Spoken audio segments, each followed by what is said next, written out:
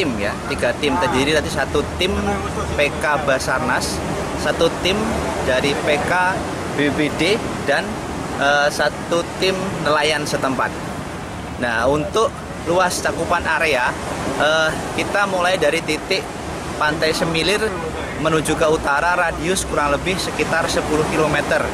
Nah, setelah itu uh, dilanjutkan ke arah barat